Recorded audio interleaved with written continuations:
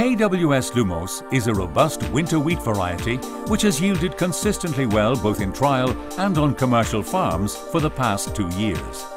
The variety is bred from Cordial, which was renowned for its robustness in difficult harvest years, as well as being a top-class milling wheat.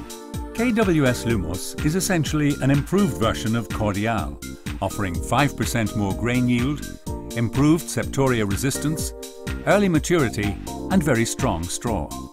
Excellent quality grain with very high kpH. KWS Lumos has proven itself to be a very versatile variety, suitable for drilling early or late, while also being suited for sowing as a second or continuous wheat. Lumos offers excellent resistance to lodging with short and very stiff straw.